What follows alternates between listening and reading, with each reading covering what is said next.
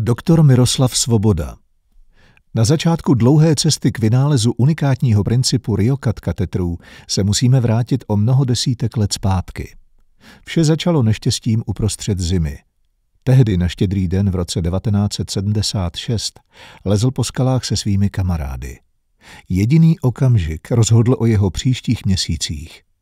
Utržená část skály a pád z více než 20 metrů do propasti poslali 18-letého kluka na operační sál bojovat o život.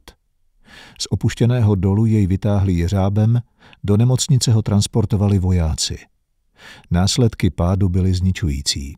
I přesto z nemocničního lůžka odmaturoval na strojní průmyslové škole.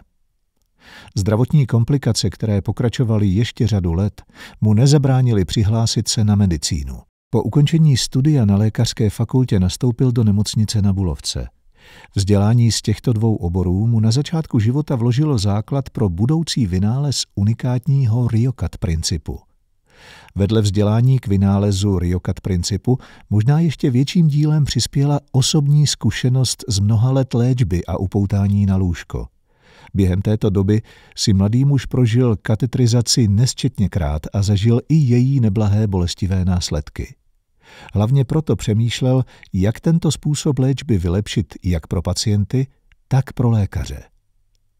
Jeseniova cena je doktorovi Miroslavu Svobodovi udělena za vynález dvouplášťového katetru, který zabraňuje případnému poškození tkání a eliminuje možnost zavlečení infekce.